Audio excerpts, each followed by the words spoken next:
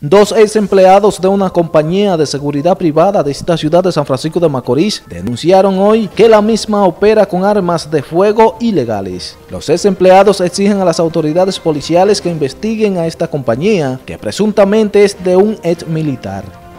La situación mía fue que a mí se me ocupó un arma de fuego ahí, de esa compañía, me dejaron abandonado.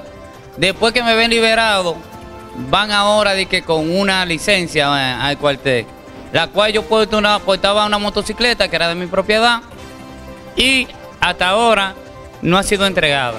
Hay casi la mayoría de mis fuegos, yo creo que si hay 80 de mis fuegos ahí, tal vez 20 tienen papeles, creo yo, porque yo eh, eh, usé muchas de ellas en diferentes sitios y, y tenía que guardarlas porque no podía salir con ellas de, donde estaba trabajando. Hay varias de ellas que la, numeración que no se sabe si es, es que 22, si es que yo. Ese mismo revólver que le quitaron, yo trabajé con ese revólver ahí mismo donde trabajaba. Carlos José Roque Martínez, residente en el sector San Martín de esta ciudad, y Rafael Gómez Castillo, residente en La Peña, piden que se le pague por el tiempo que laboraron en dicha compañía. NTN, su noticiero regional, Robinson Blanco.